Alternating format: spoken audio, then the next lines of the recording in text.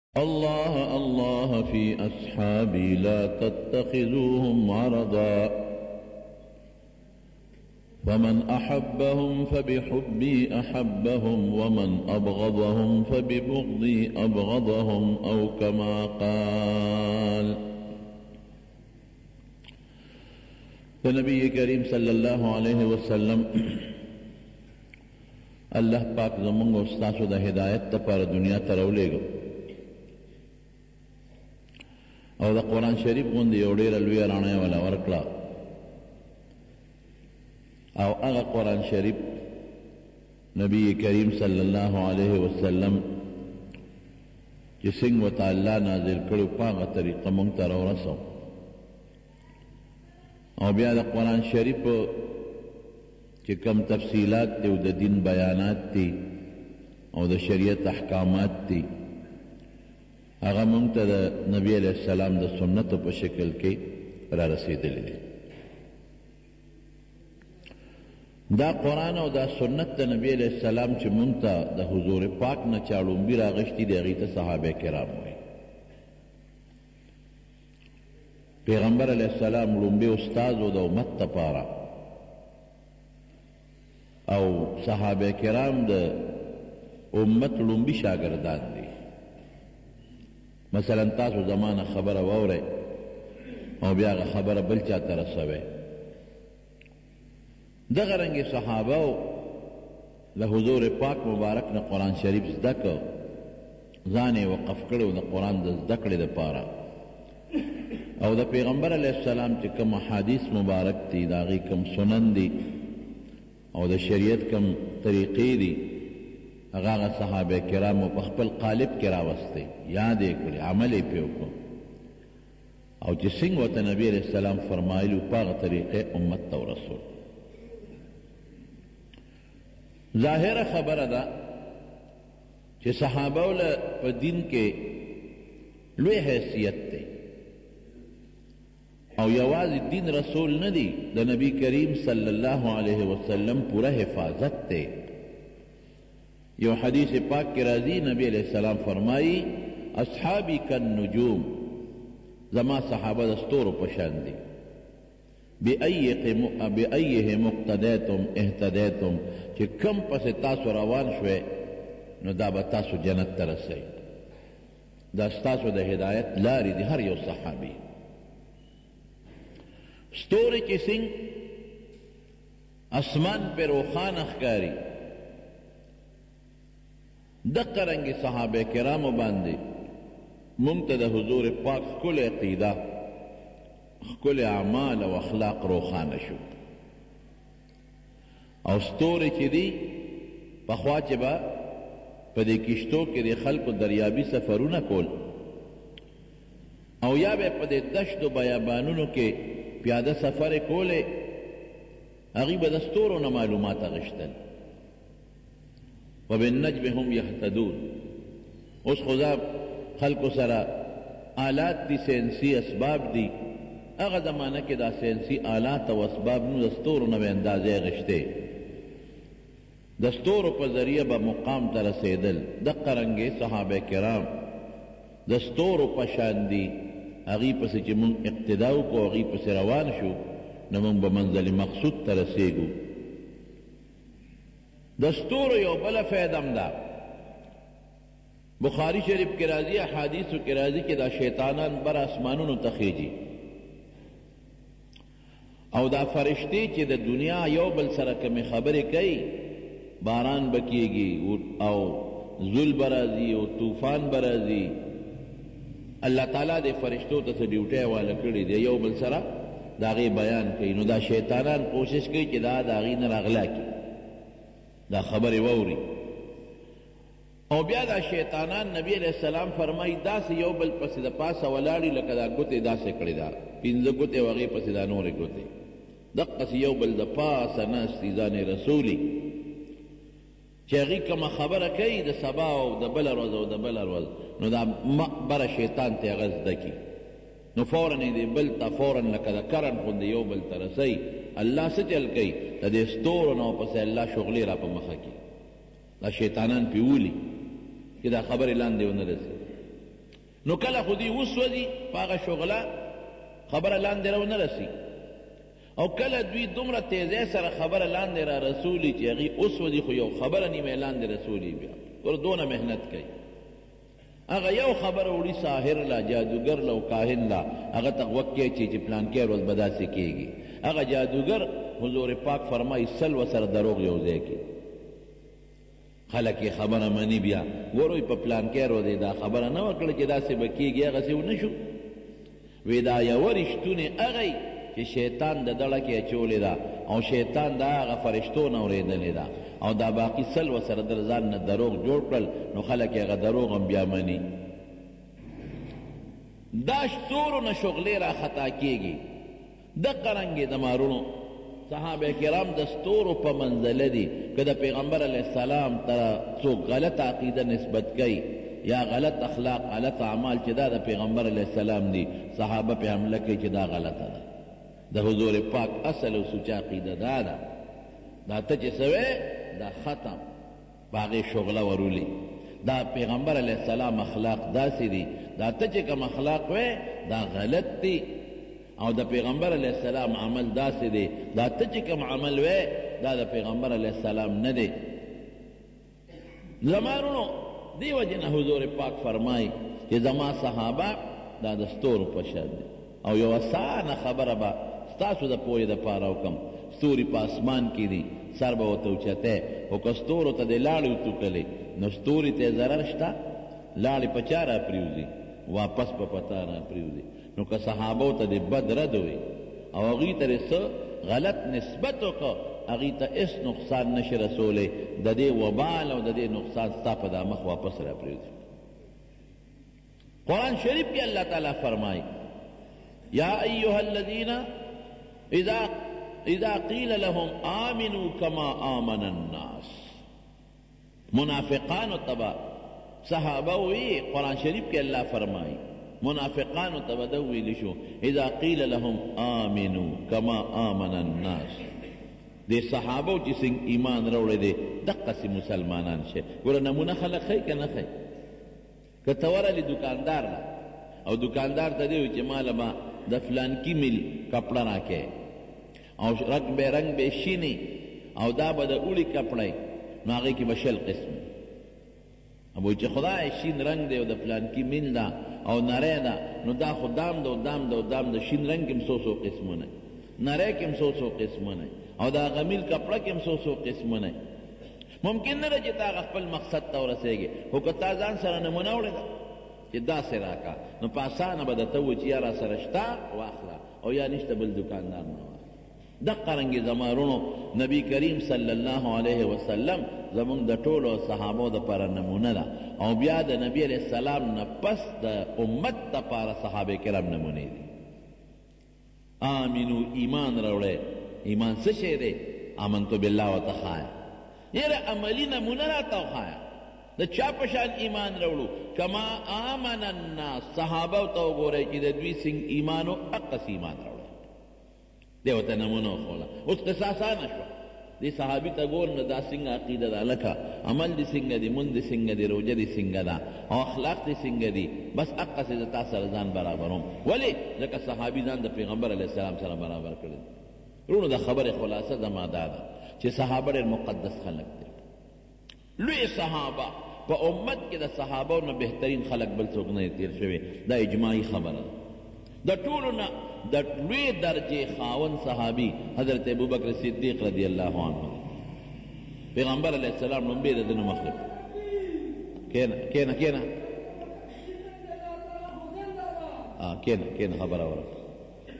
چغې مه وهه د ټولو نه ړومبی چک په امت کې د لوی درجې خاوند په صحابو کې هغه حضرت ابوبکر صدیق رضی الله عنه دی دا د نبی علیه السلام مبارک نږدې ملګری دی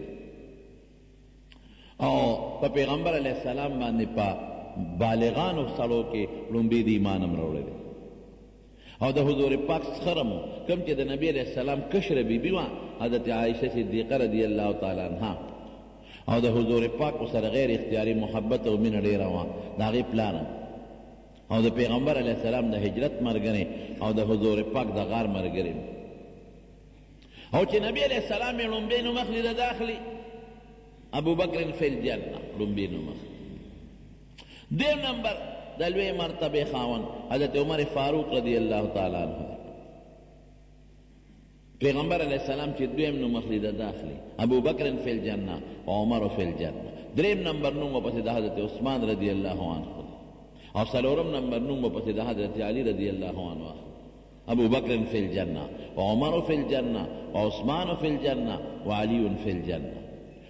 او بیا نور کسان دي شپږ کسان د عشره مبشره ورته ویل کیږي نبی علیه السلام په یو مجلس کې د دې نوم اغشتی دی ځکه ورته عشره مبشره وایي صحابه ټول د جنت زیری پې شوی دی په ټولو خو دا په یو مجلس کې نبی علیه السلام د لسو صحابو نومونه اغشتی دي حضرت زبیر رضی الله عنه حضرت طلحه رضی الله عنه حضرت سعد رضی الله تعالی عنه او یو څو اکابر صحابه ورسره نور او دی پسی بیا نور څوک دی دی پسی هغه خلک دی چی بدر کی شریک شوی دی بدریی د بدر صحابه دا د ډیر لوی مرتبی خاوندان دی صرف د یو څو تاسو تاسو د نمونه د پاره وایم حضرت ابوبکر صدیق او حضرت عمر فاروق رضی الله عنه یو ځل حضور پاک جمعه تر روان ښی طرف ته ورسره حضرت ابوبکر صدیق وو او ګس طرف ته ورسره حضرت عمر فاروق وو رضی الله عنهما نو دا ښی طرف باندې حضرت ابوبکر ونیو او په ګس لاس یې حضرت عمر ونیو او صحابو ته څه وایي ګوره پیشنګویی ورکوي وی هکذا نبعث یوم القیامة وی قیامت په ورځ مونږ د قبرونو نه دقسې پاسو. یو پیژندګلوي شو، دا یو به مې ښي طرف دی، دا بل به مې ګس طرف دی. دا څومره لویه خبره ده د صحابو لپاره. بي بي عائشې صدیقې خوب لیدی و، نو پلار ته وایي حضرت ابوبکر صدیق ته، وایي بابا یو خوب مې ولید. بچیه څنګه خوب دې ولید؟ وایي یو سپومۍ مې ولیده، اوچته شوه، د اسمان دې نیمې ته ورسېدل، او چې د اسمان دې میاشت شوه نو ډېره زیاته رڼا وکړه، ټوله دنیا پرې روښانه شوه او بیا هغه سپومۍ راتله زما په دې غېږ کې را پرېوته. بابا بیا مې بله سپومۍ ولیده، هم دقسې اوچته شوه، هغې هم ښه پوره رڼا وکړه او دې غېږ کې مې را پرېوته. بابا ما بیا مې درېیمه سپومۍ ولیده، هم دقسې اوچته شوه، د اسمان دې میاشت ته ورسېده او بیا مې دې غېږ کې را پرېوته. د دې څه خوب تعبیر څه دی؟ هغه ورته اړو غږ ونه کړ، چپ پاتې شو.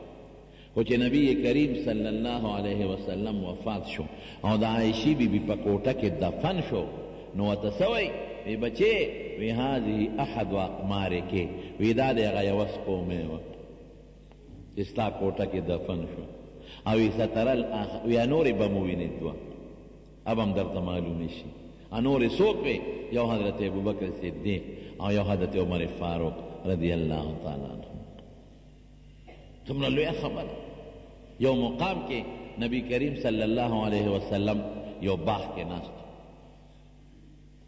یو صحابي وایي، وی ما وی چې راشه نن به دا سعادت حاصلوم چې د پیغمبر علیه السلام خادمي به کوم، دربان به یم د هغه، په دروازه به ولاړ یم. وی زه دروازه باندې ودرېدم، وی دې کې حضرت ابوبکر صدیق راغی، دروازه وواله، وی مې چې څوک یې؟ وی ابوبکر یم. ور لرکا وی ما وی علی رسلک په اطمینان په قلار ودریږه استاذن تاله اجازت غواړم د نبی علیه السلام ورعلم حضور پاک ته می وی د الله رسول ابوبکر اجازت غواړی وی اجازت هم ولا ورکه او د جنت زیری هم ولا ورکه ما ولا اجازت هم ورکه او د جنت زیری می هم ورکه وی چه را دنه شو لک سات بیا او پس ور ډبیده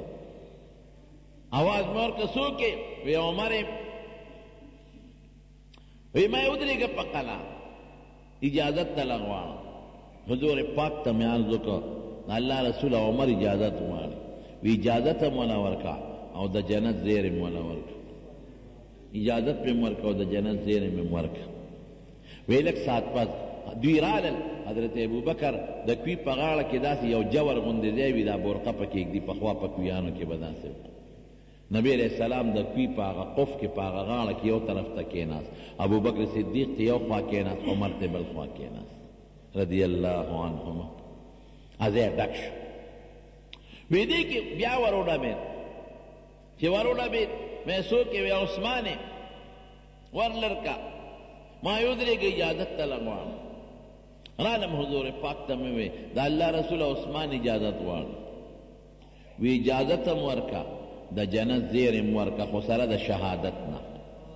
د شهادت زیر هم ولا ورکه وی هغه ته مې د جنت زیر هم ورکه اجازت مې هم ورکه او د شهادت زیر مې هم ورکه وی الله المستعان الله نه به مدد غواړم وې چې راغی هغه غاړه ډکه وه نو د کوي بلکل هغي ته مخامخ په کوي کې مخامخ ورته بل طرف ته کېناست داراوي وایي وې مې یو خپله اندازه واغشته چې حضور پاک او دا دوه صحابه په هغه کوي په هغه یو غاړه کې کېناستل ډکه شوه نور ځای خو پکې نشته عثمان ورته مخامخ کېناست ددې دا معلومات دي چې دا دواړه صحابه به نبي علیه السلام سره په یو کوټه کې ښخېږي. او عثمان به ورته مخامخ په مقبره کې ښخېږي. همغسې وشول. څومره مبارک خلک چې د پېغمبر مونږ ای مونږ که ډېر عبادت مو او ډېر ذکر او اذکار مو او مونږ ډېرې روژې مو نیسو او ډېرې صدقې مو او د دنیا نیکۍ مو کو د جنت ګرنټي شته نشته هېڅ پته نشته جنت ته به لاړ شي او که جنت ته به لاړ نه شي دا یو الله ته پته د خاتمې پته چاته ده نه حضور پاک فرمایي وی ډېر که راته د یو انسان او د جنت په منځ کې به یو لیش مزل یو لیش دا یو لیش مزل څه شی دی نیم قدم هم نه دی لیکن داسې کار به تیو شي چې دی به د ایمان نه خلاص شي او د دقه جنت په ځای به دوزخ ته لاړ شي قسم دې ویریږه بیا خدایه رحم راباندې وکړي او ډیر کله ته به د یو انسان او د دوزخ په مینځ کې یو لیش مزلي یو لیش معمولي غوندې دیکه غواړي نیم قدم نه هم لږ دی داسې کار به ترې وشي چې د دوزخ په ځای به جنت ته لاړ شي دی به مسلمان شي خدای به جنت ته بوځي د دواړو مثال درله درک په دمشق کې یو جامع مسجد کې یو سړی اذانونه به وي مؤذن نو هغه لوی جومات وته چې به اذان وي د منارې سر ته به خته اوس خو لوډ سپیکرې دي هغه زمانه کې لوډ سپیکرې نه سر ته به وخته او بانګ به وي نو زمونږ د دین مسله داسې ده که یو سړی بره په مناره کې په کوټه کې دننه بانګ وایي نو حیا علی الصلا او حیا علی الفلا دپاره د منارې د کړکۍ نه سر بار رایستی شي خیر دی که د قبلې نه مخ د حیا علی الصلا کې بل طرف ته شو چې خلکو ته اواز ورسي یا حی علی الفلاح لپاره اخوا شو کړکین یې سر وویسته چې خلکو ته اواز ورسیږي بوډا سپین ږیری سړی دی مشر دی ټول عمر یې بانګونه ویلي دي بانګ ورې ډیر لوی عمل دی رونو نبی کریم صلی الله علیه وسلم فرمایي وی چې چا اوه کاله بانګونه ووي من اذن سبع سنین محتسبا اوه کاله بانګونه ووي خو صرف د الله د رضا لپاره د بانګي کار خو هم دقه چې مانه الله رضا شي د ریا د پاره نه کوي یا منافق نه دی چې د څه مقصد د پاره کوي خالص د الله د رضا د پاره اووه کاله بانګونه ووي کتب الله له براءة من النار دې به خدای د اور نه بري کړي خلک مونځ ته رابلي د یو مؤذن بانګي په بانګ چې څومره خلک مانځه له رالل د دې مونځګزارو چې څومره ثواب کېږي دومره ثواب د دې بانګي مو سره کېږي او نبی علیه السلام ورته دعا کړې ده، اللهم ارشد الائمة او واغفر للمؤذنین، خدایه امامان چې خلکو ته لمونځونه کوي دوی ته نېغې لارې برابر کړې، قوم ورپسې روان دی چې دوی په نېغه لار وي چې قوم هم په نېغه لار کې وي، واغفر للمؤذنین او خدایه چې څوک بانګونه وهي دا وبخښي. دا دعا ورته نبی علیه السلام کړې ده مؤذنینو له. او حدیث پاک کې راځي چې څوک بانګ وایي د ده دا اواز چې څومره کاڼي بوټي اوري قیامت په ورځ به له د الله په دربار کې ګوۍ کوي دومره لویه خبره شوه دا اوس بوډا سپین ږیری دی دا شپېته کاله پنځوس کاله او یا کاله د بانګونه وي یو شان ریګولر بنارې تخیج یو بانګونه وي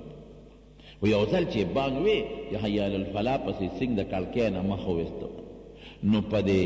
جومات خوا کې د یو یهودي کور و. هلته عیسایان هم اوسېدل او یهودیان هم اوسېدل. نو د یهودي کور کې یو جینۍ باندې نظر پرېوت و چې په جینۍ نظر پرېوت نو د سړي په ړه کې ورته وسوسه پیدا شوه، عشق پیدا شو.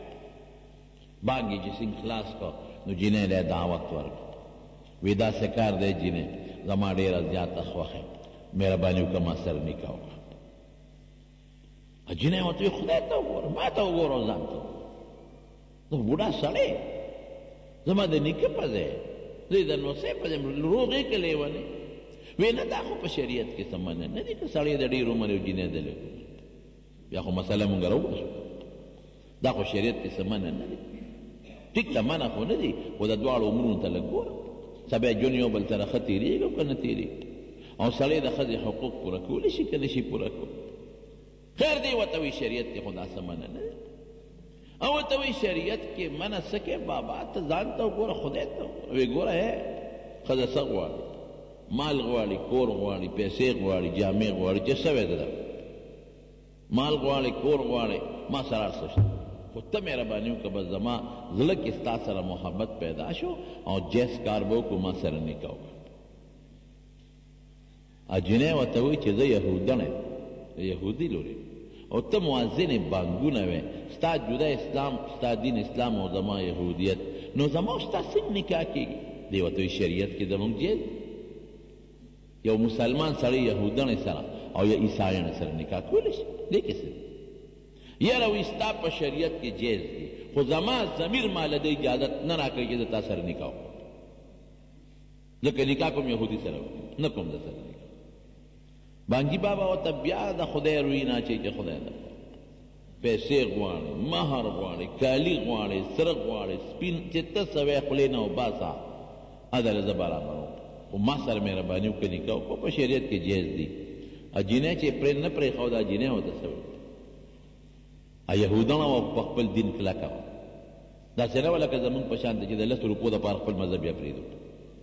او د شلو روپو لپاره خپل دین بیا پرېږدو، د لس روپو لپاره خپل پیغمبر پرېږدو، داسې نه وه. هغه ته څه وایي؟ وایي داسې کار دی، خوله خو مې نه غواړي، خو زه چې ته دومره په ما عاشق یې او ما سره دې مینه ده، واده درسره کوم. خو په یو شرط. هله شا به ښځې زر وایه څه چې غواړې. نه نه پیسې نه غواړم. نه درنه پیسې غواړم نه درنه کالي غواړم. نه درنه مال او دولت غواړم. نه سره زر غواړم. نه کور غواړم. بس یهودي شه زما په دین شه راځه. یهودي شه اسلام دې پرېږده.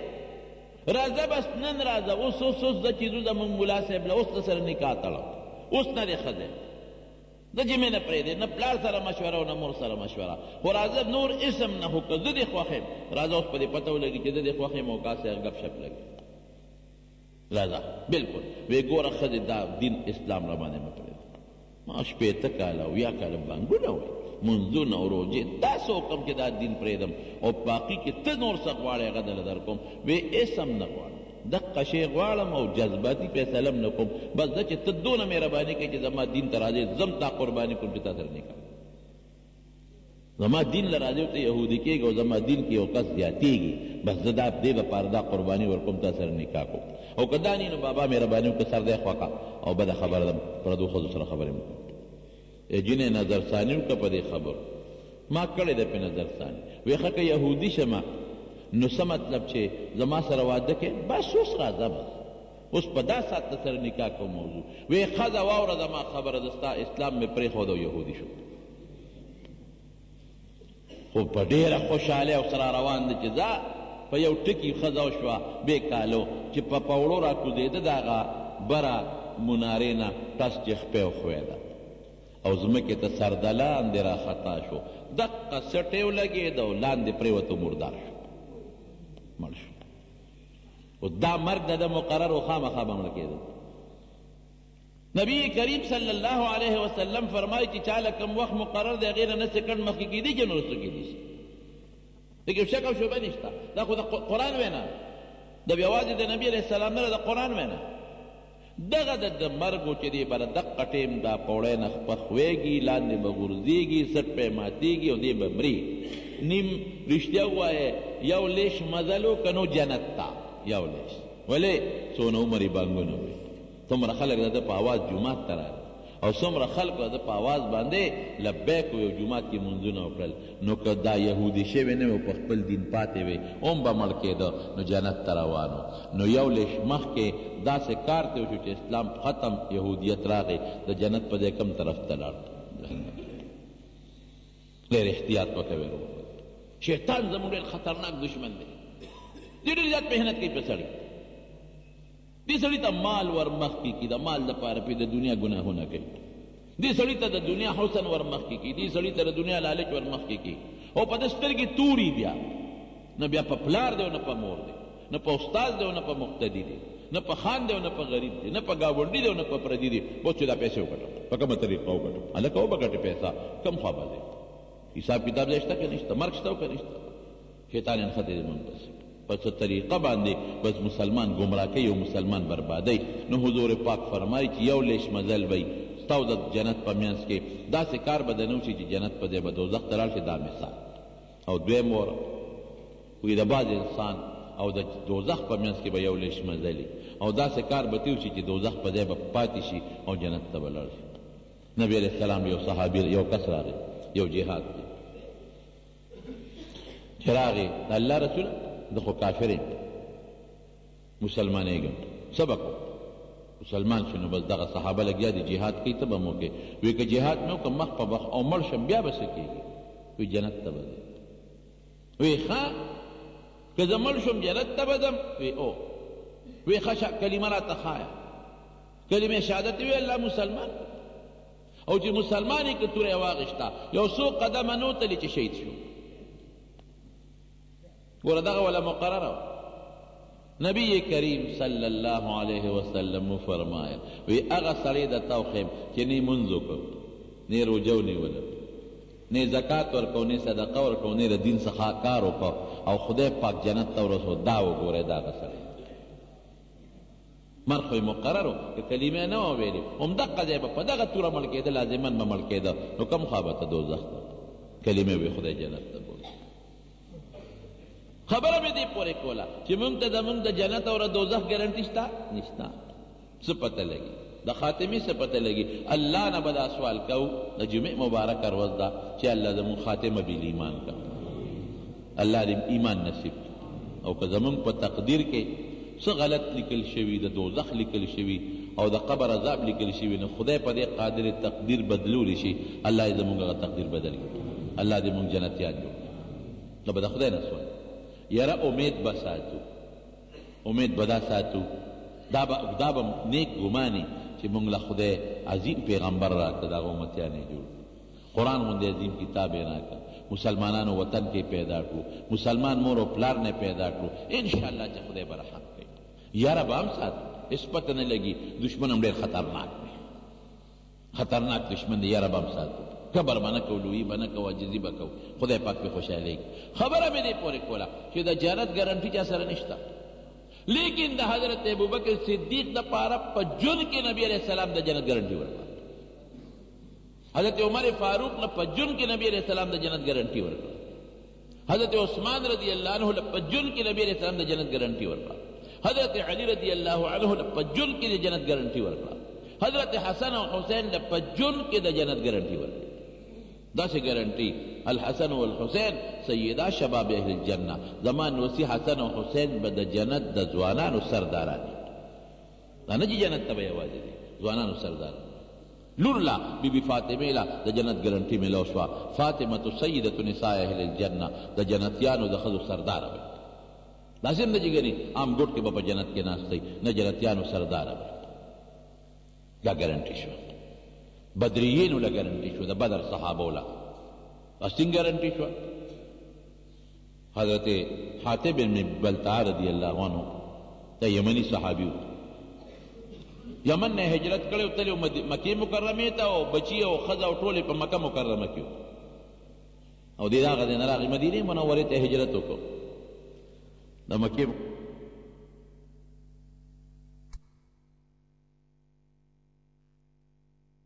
نږي خبره داسې طریقې سره به یې خبره کوله چې صحابه ورباندې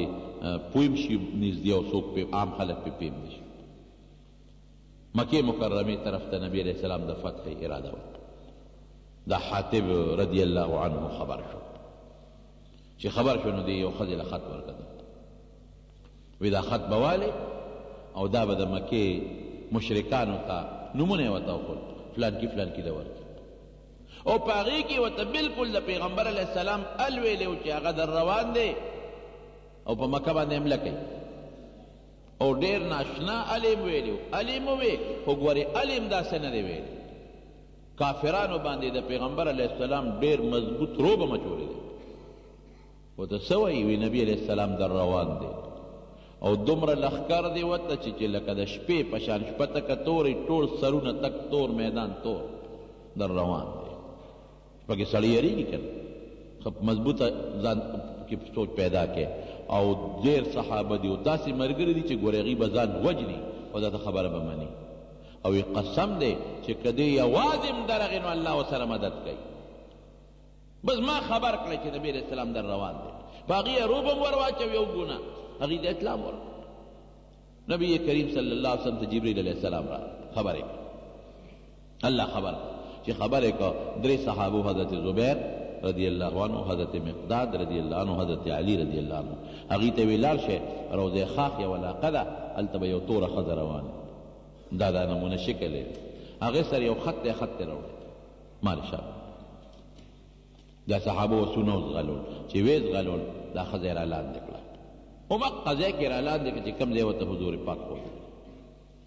وی اخرجی الكتاب خط رو بس او امام علی کتاب ما زور خط نشته خط نشته نه دی راوپس شو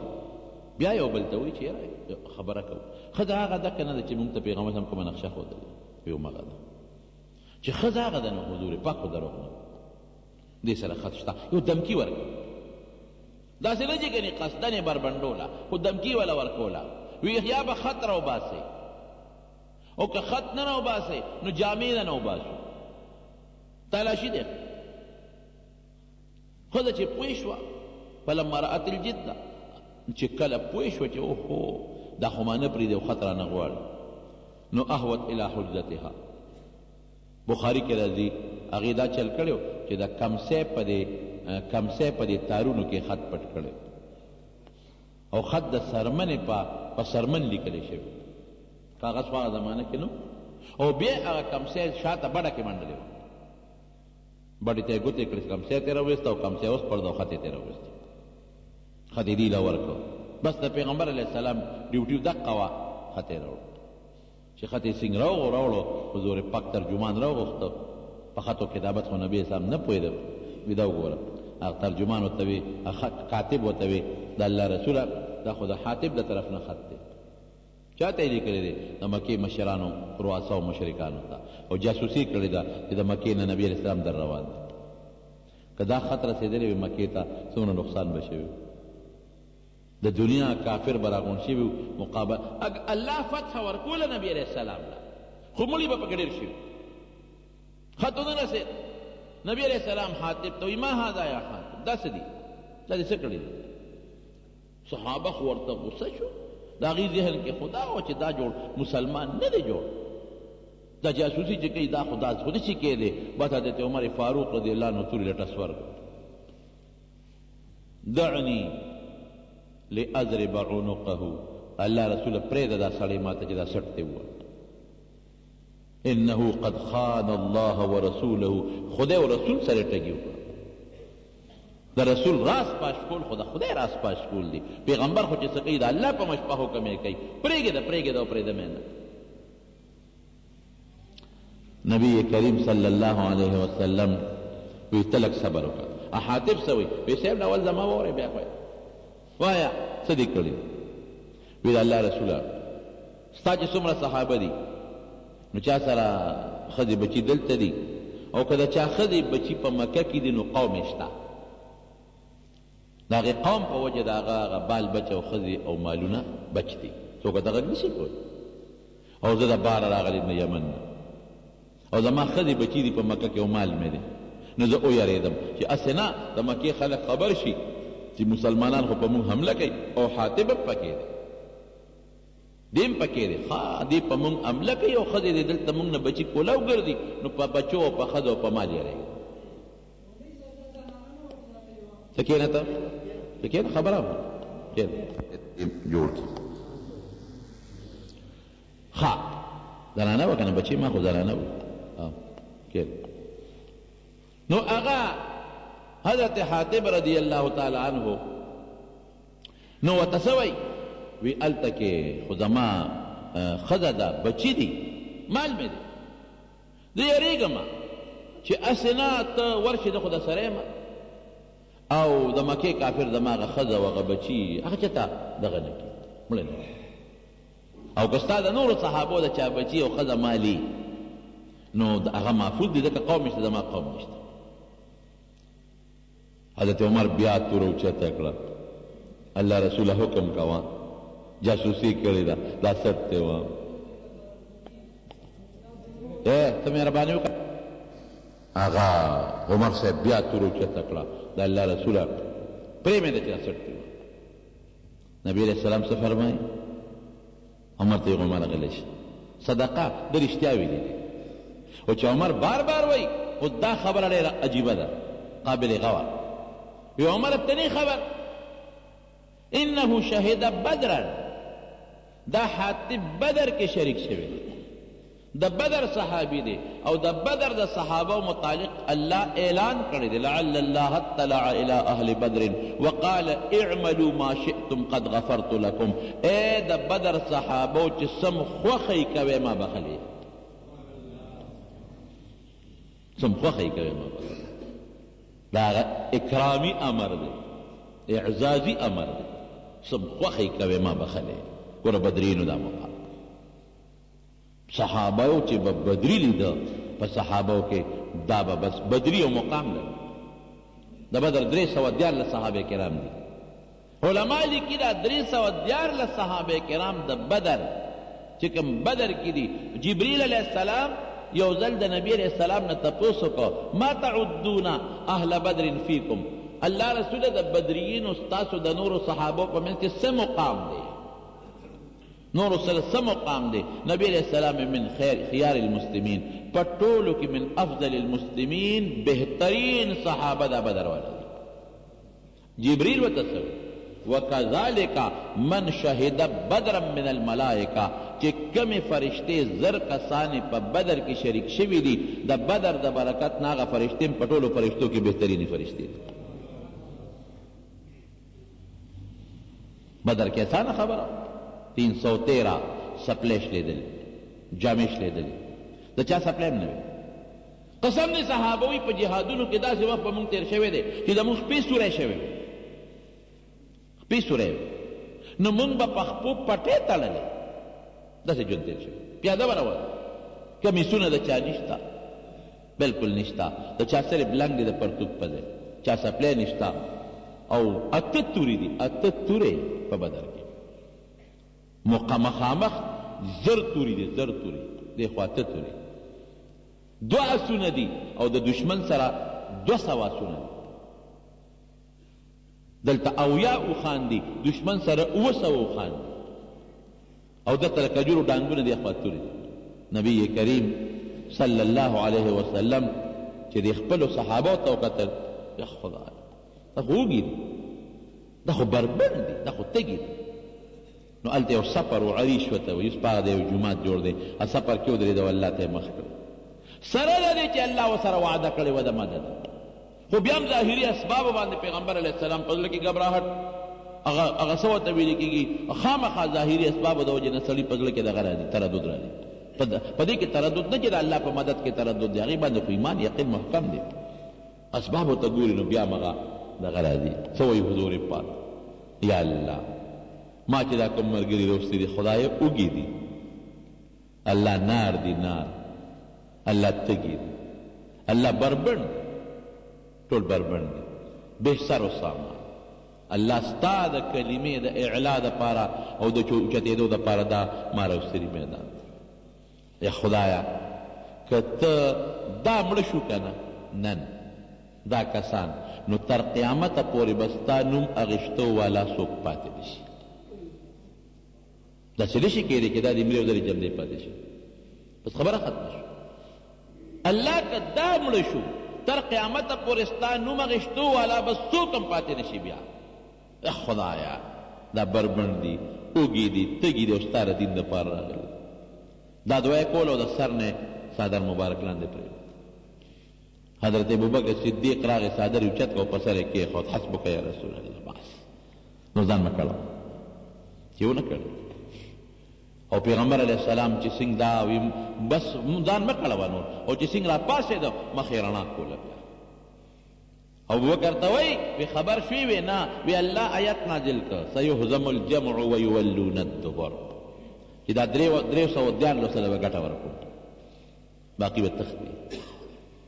دغه بې سر و سامانه کې ځکه خو لوی مقام دی د صحابه و د بدریین او چې کومې فرشتې بدر کې شریک شوې د نورو فرشتو نه هغه لوی مقام لري بیا د حدیبیې ورپسې چې کوم ډېر غوره دي ورپسې بیا هغه هغه خلک دي چې حدیبیه کې شریک صلح حدیبیه کې هغې مې یو زبردست څوارلس سوه صحابه دي څوارلس سوه او په مکې په مکه ورځي له عثمان رضی الله عنه یو لېږه وي لاړ شه مذاکرات وکړه د مکې د کافرانو سره پروپیګنډه راله چې عثمان یې شهید کړ رضی الله عنه خبره درو پروپیګنډه راله نو نبی علیه السلام د یو کیکر د اونې لاندې کېناست غټ کیکر و غټ سموره ورته وایي او صحابه ورته وایي څوک به ما سره لاړ شي چې د عثمان بدل وایي ټول به مونږ یو یو راځي بیعت کوي یو یو راځي بیعت کوي یو یو راځي لاس په لاس بیعت کوي اخره کې حضور پاک دا خپل لاس اوچت کو وی دا لاس د عثمان هی خپل لاس یادوي الله دا د عثمان او دا زما که عثمان جمدی وي کنه د هغه د طرف نه ما بیعت وکړ ځان سره خپل لاس د پیغمبر یو صحابي په عثمان څه تنقید غوندې وکړ وی دی بیعت الرضوان کې نو وی ساده سړی ځکه نو چې د هغه د وجې نه بیعت الرضوان شوی دی او په مکه کې و او وی د هر چا په خپل لاس د حضور پاک سره بیعت کړی دی او عثمان د پیغمبر په لاس د پیغمبر سره بیعت کړی دی ها دا صحابه دی بیعتو شجی چودہ سو صحابو بیعتو کو او اخر کې نبی علیہ السلام صلح وکړه او صحابه صاحب په جوش کې راځي چې الله رسول دا دې څوک صلح کې داسې شرطونه ولګېدل چې هغه په ظاهر کې د مسلمان خلاف اوس بس کال عمره نه کوي واپس پوي واپس به ځې ساری به هم دلته حلاله وې سرونه به دلته خرائې واپس به ځې اوهو خلق به څه وائې او آینده کال به راځې تورې به هم په تیکو کی بار به نه راوباسې او درې ورځې به تیروې او که زمونږ نه څوک کافر در وتښتید او مسلمان شو مونږ له به یې راکوې او که ستاسو نه څوک مسلمان نه وتښتید نه به یې درکوو ظاهر کی شرطونه دومره صحابه په جوش کې رالل چې حضرت عمر فاروق رضی الله عنه نبی علیه السلام ته ودرېد، الله رسوله! ته نبی بر حق نه یې؟ وې ولې نه؟ دا دین په حق نه دی؟ وې ولې نه؟ تا موږ ته نه وویل چې عمره به کوو؟ بلکل مې ویل. ولې واپس وځو؟ ما تا ته سږ کال ویل چې سږ کال به کوو؟ وبه کو که نه؟ وی دې شرطونو کې خو زمونږ ظاهر کې صاحب نقصان دی. وې عمره ما ته چې څه الله وي زه هغه کوم. الله وی جوړه وکړه کور ته لاړ حضرت ابوبکر صدیق لا جوش کې دی خوصه دی صحابه غوسه دی ابوبکر دا نبی اسلام په حق پیغمبر نه دی ولې نه دی دا دین اسلام په حق دین نه دی ولې نه دی مونږ ته دا عمره نو ویل چې کو به وی وی دی کنه نو ولې واپس وی تاسو سخ کال ویلو چې سخ کال بزو او مخ جوابونه ورکړ کوم چې حضور پاک ورکړ دې وجې نه علماء کرام لیکي چې د حضرت ابوبکر صدیق او د پیغمبر علیه السلام په منځ کې نسبت اتحادي و. دا ډېر مضبوط نسبت دی. د دې پیر او د مرید منځ کې نسبتونه یې څلور. په ټولو کې مضبوط نسبت ته نسبت اتحادي وایي. دا د حضرت ابوبکر صدیق او د حضور پاک و. حقه جواب یې ورکړ حالانکه د پیغمبر علیه السلام نه دا خبره نه وه اورېدلې. جوش کې دي صحابو ته وي سرونه خراې چا سر نه خرېم څاروي حلال کړئ چا څاروي نه حلال ډېر پریشان و نبی علیه السلام ام سلمې رضی الله عنها څخه خیمې ته لاړ او پریشان وي الله رسول ولې خپه وي صحابه مې خبره نه مني څه خبره صاحب وي ته زه ورته یم سرونه وخورایې ځای چې ځو نه ځي وي صاحب دوی په تمه دي چې دې فیصله کې به ترمیم وشي او په مکه به ورشو بیعت ته ترې جهاد غشتلی اوس یې واپس کړئ نو داسې وکړه چې دوی په تمه دي که ستا مقصد دی واپس ځې؟ وي او وي ورشه خپل سر له اوله خدای چې صحابه ته وویني بس بیا به پوه شي چې فیصله مضبوطه ده بیا به خبره خامخا مني چې څنګه نبي علیه السلام را بار روت د خیمې نه نهي ته وي راشه زما سر وخوره سر یې وخوره اوس خپل څاروی حلال کړه چې صحابه وکتل چې اوس خبره مضبوطه ده بس فورا بیا هغوی هم سرونه خرېل او څاروی حلال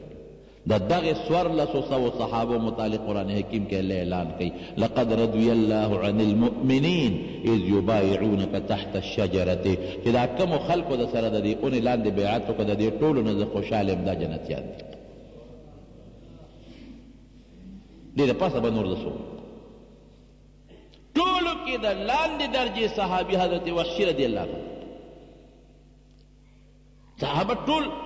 د منقبت دي خو درجې پکې شته لکه پیغمبرانو کې درجې شته لاندې درجې والا حضرت وحشي دی د خپل ځان ازادولو دپاره یې حضرت حمزه رضی الله عنه شهید کړی هغه ټوټې ټوټې و د هغه غوښې داسې ټوټې پرتې وې لکه څارمن قربانۍ غوښې چې په څارمن پرتې وي او د پیغمبر علیه السلام تره دی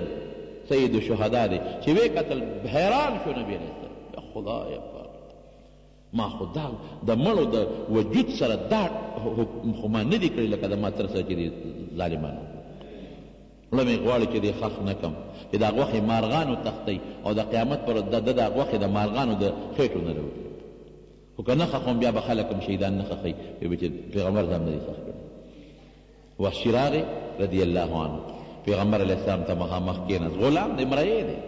څه لوی قوم هم نشته لوی خاندان هم نشته او دا جرم هم کړی دی چې څنګه کیناست حضور پاک ته وی انت وحشی وی ته وحشی وی یا حسین اانت قتلت حمزه حمزه تا وژلی دی او خطرناک تپوس دی که داسې وي چې نه خو دروغ کې راځي که وي چې او دا خو ډېر غټه بې ادبي راځي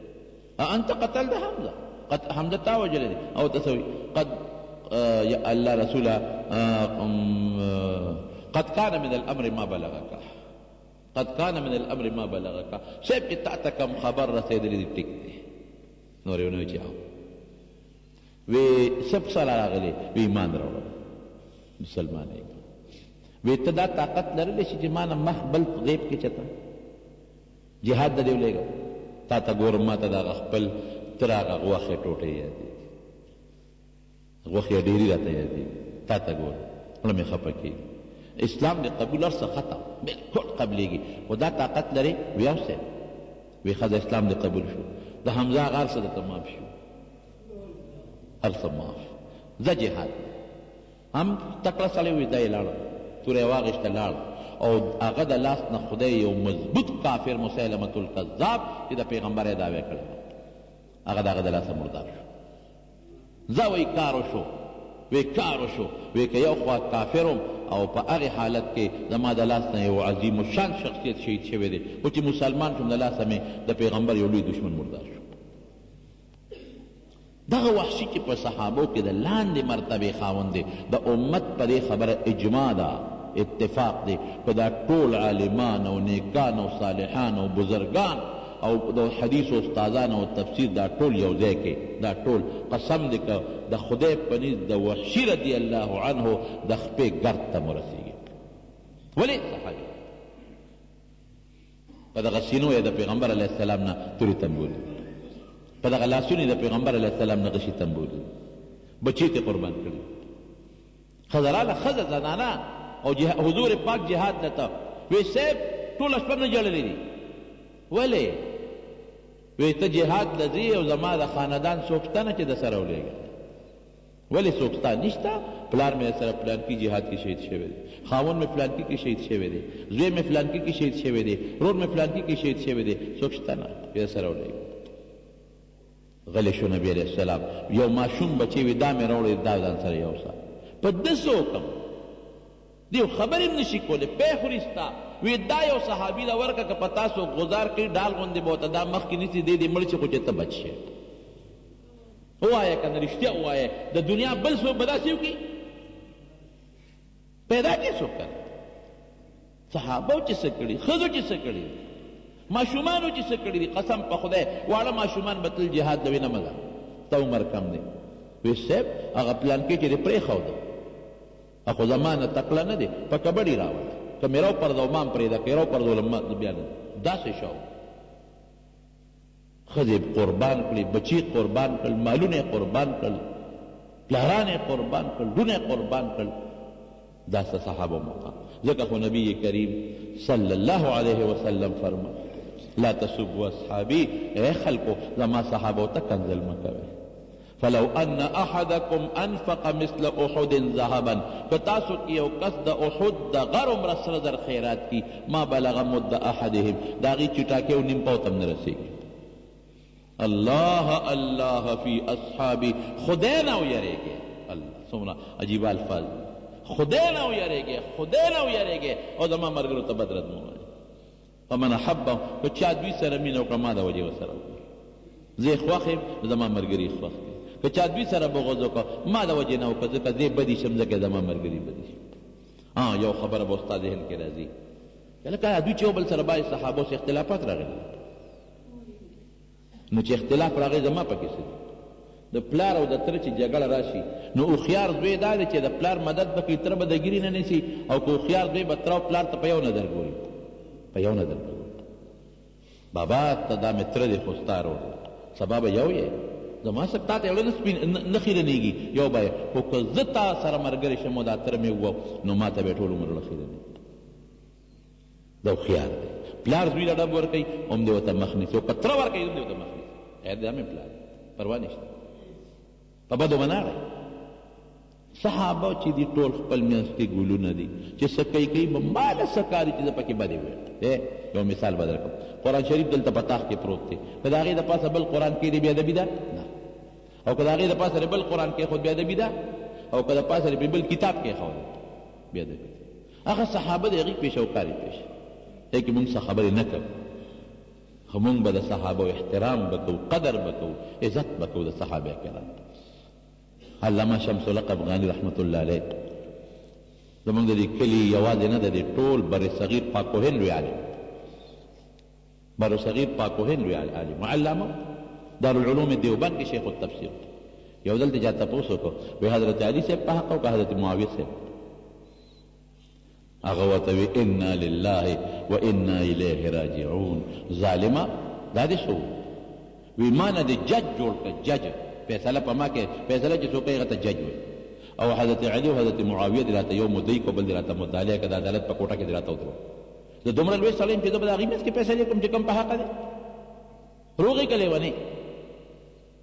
نو صحابو کې به ګوتې نه وه بس ټول صحابه زموږ جلیل القدر هستی دی دغه دین موږ ته د حضور پاک نه غیره رسولی دی که دا موږ کوم قرآن وایو موږ پیغمبر علیه السلام په خپله نه دی لیدلی تاسو ته عالمانو ویلي عالمانو ته د هغوی استادان هغوی ته د هغوی استادان هغوی ته صحابه وو دا ورپسې او که دا مبارک احادیث دي موږ ته خپلو استادان هغوی ته خپلو هغوی ته خپلو هغوی ته خپلو زه ورپسې هغوی ته صحابه او صحابه نبي علیه السلام نو ځکه نبی علیه السلام فرمائی چه د دوی به قدر کوی عزت به کوی احترام به کوی دا زما مینه ده او که ما سره چا بغضی بیا زما ملګرو سره کوی خلک په ملګری خفه کیږی که نه خفه کیږی نو حضور پاک په خپلو ملګرو خفه کیږی دعا وکړی رب العالمین زموږ په حال رحم وکړی او د صحابو سره هم الله په قبر کی او په آخرت کی ملګری کړی د نبی علیه السلام ملګرتیا هم نصیب کړی د فتنو آفاتو بلیاتو نه هم په امن او امان کی وساتی تو که زموږ دی محله کی دا دولی پر شا وفات شوی دعا وتو که چی خدای پاک یی مغفرت نصیب کړی نور څومره مردګان وفات دی الله یی ټول وبخی او د جمع یو دوه ملګری دی یو کس خپه پکی ماته را ده بل څه اولی مات شوی دی دعا وکړه چی الله تعالی ولا روغ صحتونه ورکی.